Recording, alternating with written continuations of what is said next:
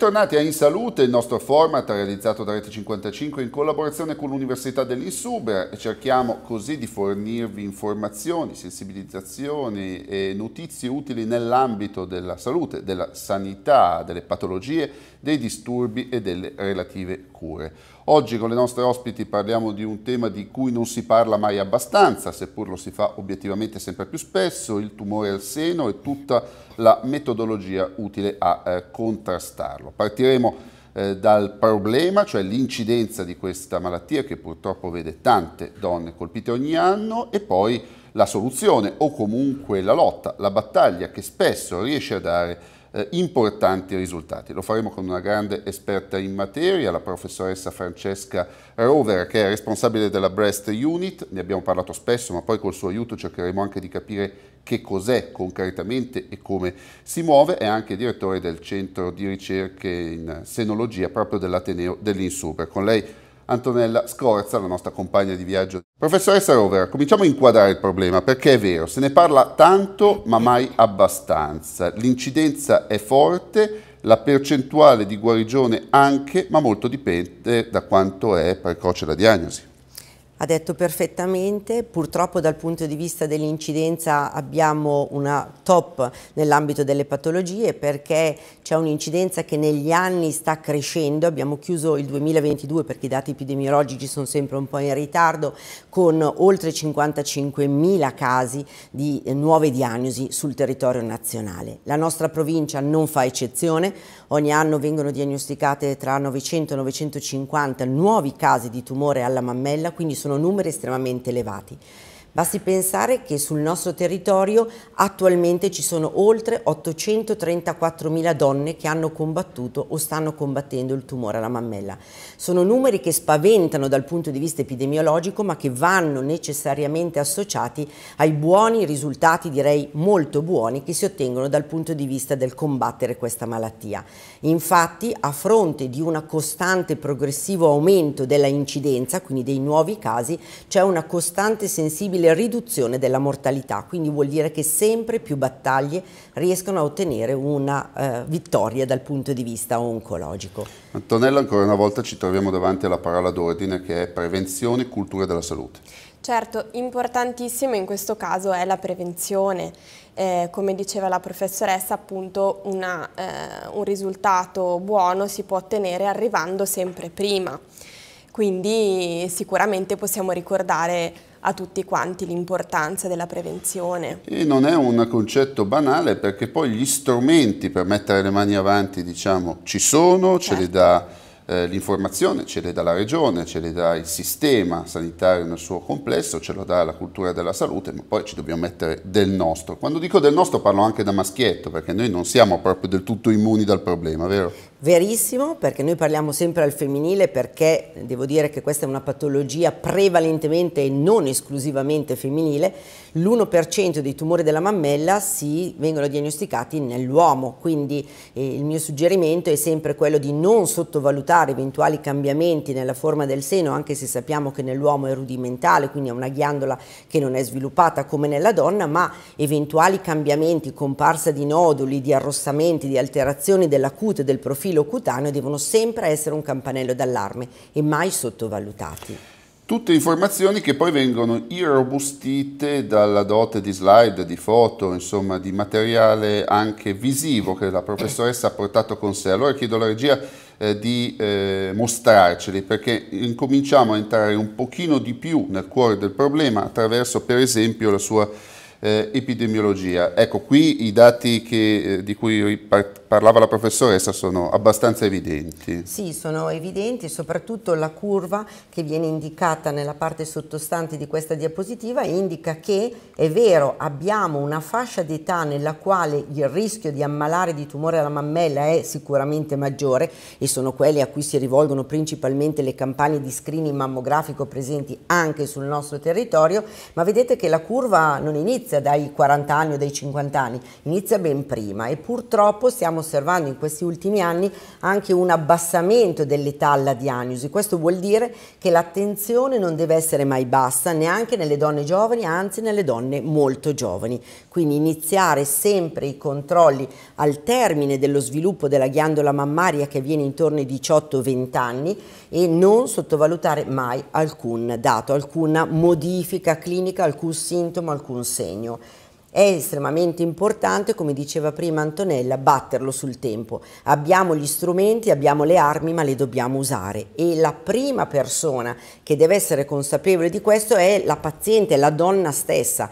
Le istituzioni, tutto ciò che noi abbiamo a disposizione dal punto di vista clinico, sanitario e medico è fondamentale, ma l'attenzione e la sensibilizzazione, cioè il pensare al fatto che nessuno di noi sia scevro da questo rischio, deve essere della donna in primis. Andiamo volta perché poi c'è anche questa che mostra diciamo la mappatura. Questa, Possiamo dire, sì. professoressa, c'è una tipicità, cioè esiste una collocazione che fa pensare circa l'esposizione al rischio o è molto distribuito? No, eh, devo dire che c'è una distribuzione eh, geografica diversa. Eh, faccio soltanto un passo indietro su questa diapositiva che io porto anche in università ai ragazzi quando insegniamo appunto la chirurgia senologica perché è una diapositiva di solo qualche anno fa e lascio il dato epidemiologico di allora. Erano 46.000 casi e non eravamo neanche dieci anni fa. Adesso siamo a quasi 60.000. Questo sta a indicare, e questo è il passaggio che spiego sempre ai ragazzi, sta a indicare quanto sia importante tenere d'occhio la situazione e la prevenzione, perché l'incidenza e l'aumento del tasso proprio di incidenza di questa malattia è veramente galoppante. Piccola parentesi, voi siete donne vi, vi, curate o vi trascurate? Perché talvolta poi gli addetti ai lavori sono quelli no, primi no, che no, si no, trascurano. State attenti? Assolutamente sì, molto. Sì, assolutamente. Tutte e due, anche tu stai eh, attenti. Anch'io faccio già i controlli, sì, però in realtà per la mia età è giusto farli, quindi li faccio. È giusto, è doveroso e soprattutto dovete pure dare il buon esempio, quindi certo, siamo, sì, siamo sì, sicuri che lo, che lo facciate. Andiamo avanti con i dati perché sono sono tanti. Qui siamo ai fattori di rischio. Ecco, sì, i fattori di rischio diciamo che questa è una schematizzazione per semplicità e, e, tolti i fattori genetici che sono gli unici sui quali si possono dare delle informazioni che sono scientificamente corrette, teniamo conto che circa il 10% dei tumori della mammella hanno un'origine eredofamiliari. Genetico non vuol dire solo avere un familiare di primo grado che sia ammalato di tumore alla mammella o dell'ovaio, ma vuol dire aver fatto dei test genetici, che sono poi un prelievo di sangue, che vada a ricercare nel sangue di questa donna la presenza di eventuali mutazioni. Attualmente lo facciamo per tre geni principalmente, che sono il BRCA1, BRCA2 e il PALB2, i, i, geni BRCA sono i cosiddetti geni Angelina Jolie perché è colei che per prima ha lanciato pubblicamente la, eh, eh l'attenzione, diciamo, essendo lei portatrice di una di queste mutazioni. Mutazione vuol dire che un gene non lavora bene, non funziona bene, quindi non produce, diciamo, in maniera molto semplice, una proteina la quale agisce principalmente come protezione a livello mammario e a livello ovarico, non solo eh, in queste sedi, però direi principalmente in queste sedi e quindi non avendo questa protezione la donna con una mutazione ha un rischio decisamente superiore rispetto alla donna non mutata di ammalarsi in queste due sedi principalmente. Angelina Jolie, la star di Hollywood, sapete che poi è arrivata alla mastectomia preventiva sostanzialmente. Rivediamo la slide che riguarda l'attrice perché il virgolettato è piuttosto eh, significativo. Eh, la vita ci porta innanzi diverse sfide, dice il virgolettato in inglese, e le sfide di cui non dobbiamo avere paura sono proprio quelle che ci eh, consentono di eh, giocare d'anticipo. Ecco, questo in larga sintesi dice Angelina Jolie. Eh, però adesso io alla professoressa e anche alla dottoressa Scorza chiedo di individuare il confine, il margine che separa la prevenzione dalla paranoia, perché non vorrei che poi si sfociasse nell'eccesso opposto e si corresse a fare interventi magari evitabili. Dove sta sto confine? Allora, distinguiamo due ambiti, l'ambito diagnostico e l'ambito terapeutico. Nell'ambito diagnostico ci sono delle linee guida ben precise. A Varese, sul nostro territorio, esiste lo screening mammografico che propone alle donne dai 45 ai 74 anni d'età l'esecuzione di una mammografia, che è annuale nelle donne 45-50 anni ed è ogni due anni dai 50 ai 74 anni. Noi promuoviamo, crediamo molto nello screening, ovviamente va personalizzato, ci sono delle pazienti in cui il rischio è superiore, le donne ad esempio mutate, in cui lo screening non è sufficiente, noi ci rivolgiamo allo screening alla popolazione generale. Quindi poi per passare alla donna mutata o la donna quindi con un alto rischio, magari per la conformazione delle proprie mammelle deve intensificare i controlli, esistono ovviamente poi i controlli ecomammografici clinici, quindi anche al di fuori dello screening e le visite senologiche. In quest'ultimo periodo si è parlato molto delle visite senologiche, della loro importanza o meno, io credo che ci sia una definizione che vada data. La visita senologica non è sufficiente da sola per arrivare a una diagnosi precoce e su questo siamo d'accordissimo.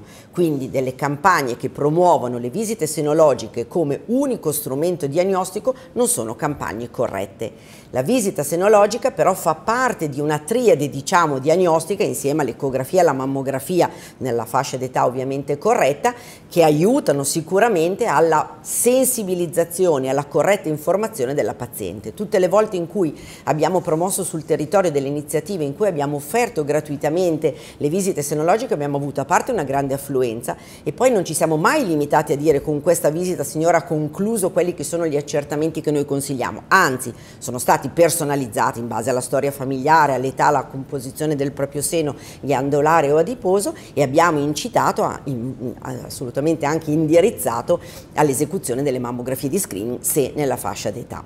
Eh, è ipotizzabile telegraficamente, perché poi passiamo alla breast unit, che ci siano dei fattori non lo so, ambientali, climatici, legati alla modernità che hanno aumentato l'incidenza? Sì, sicuramente, infatti nella diapositiva di prima abbiamo detto che i fattori genetici sono gli unici certi, su tutti gli altri fattori dobbiamo lavorarci molto, i fattori ormonali hanno sicuramente un ruolo, però sappiamo ad esempio che il 20% circa dei tumori della mammella non è ormonale, non è ormonoresponsivo, quindi vuol dire che in questi il fattore ormonale è sicuramente meno importante. Quello su cui dobbiamo lavorare principalmente sono i fattori dietetici, i fattori fattori ambientali, anche perché come diceva prima c'è una distribuzione epidemiologica a livello mondiale, cioè non in tutti gli stati a livello del mondo ci si ammala allo stesso modo. E vediamo che se nelle pazienti ad esempio nelle donne del sud-est asiatico dove c'è una più bassa incidenza di tumore della mammella prendiamo una donna, la sradichiamo dal suo territorio e la portiamo nei paesi occidentali, non so in America, New York e la lasciamo ovviamente per un lungo periodo di tempo, dopo 10-15 anni il rischio di questa donna è simile a quello di una newyorkese doc. Quindi vuol dire che non solo, solo i fattori ormonali che si è portato ovviamente nel suo bagaglio mh, biologico, ma sono anche dei fattori locali, vuoi legati alla dieta, al comportamento, all'attività fisica, a fattori in, inquinamento che attualmente noi non conosciamo nei dettagli ma che sicuramente condizionano lo sviluppo di questa malattia. Allora abbiamo parlato del problema anche con una certa profondità, con i tempi televisivi ovviamente perché ne dovremo parlare di più, però adesso andiamo alla soluzione o comunque a ciò che aiuta la soluzione, cioè la breast unit. Eh, il suo funzionamento, le sue dinamiche e anche diciamo così un minimo di genesi con una pre-domanda che faccio ad Antonella. Ancora una volta ci troviamo davanti a un sistema basato sulla multidisciplinarietà, su risposta di rete. Assolutamente, infatti nella Breast Unit ci sono più figure, eh, eh, insomma ci sono più professionisti, adesso ci, ci dirà poi bene la professoressa eh, da cosa è composta esattamente, quindi non solo chirurghi, ci sono anche altri professionisti che aiutano la donna nel suo percorso, infatti anche tutte le, le decisioni sono, sono prese insieme. Ecco, è così giusto, è un gioco di squadra che eh, comprende tante figure, non solo medici tra l'altro. Assolutamente è un team dedicato e specializzato del prendersi cura della donna. La vera differenza, il vero salto di qualità, il vero diciamo, atteggiamento pionieristico che è stato fatto nella mammella e che adesso sembra riprodursi o tentare di riprodursi per altri tipi di patologie, no? eh, per altre unit che non sono soltanto quelle senologiche, è proprio questo, avere un team dedicato di personale medico, di personale infermieristico, eh, che vedete qui in parte rappresentato perché non tutti potevano essere presenti nella foto, vuoto ma che comunque indica